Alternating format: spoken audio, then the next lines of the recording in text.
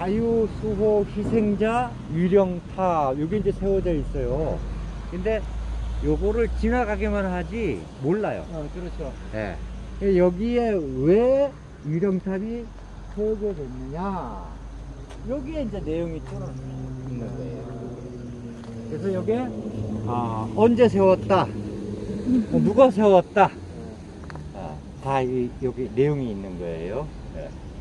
그, 그, 그야말로 예, 이 자유수호 대한민국을 지키기 위해서 애쓰다가 숨져간 사람들 1983년에 세웠네요.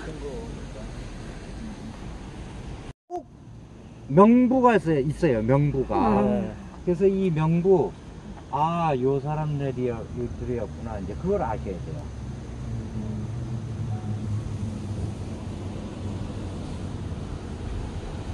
그래서 이제, 이, 여기 있는 분들은 거의 다, 어, 그, 뭐, 자유총 연맹인가? 뭔가 왜 저기, 있어요. 장충동. 뭐, 뭐, 관련 단체들이잖아요. 있어요. 그런 사람들이 영월 여행을 오면은, 어. 여기는 꼭 가셔야 됩니다. 아하. 음, 여기는 꼭 가셔야 돼요. 거기 음. 이령탑이 있습니다, 영월에는. 음. 영월이 이런, 이- 이런 고장입니다. 음. 그 희생자들을 유령하기, 저, 어, 하기 위해서 모션. 만세.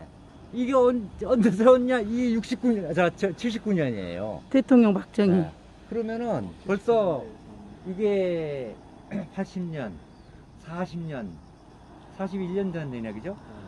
이게 9년만 있으면은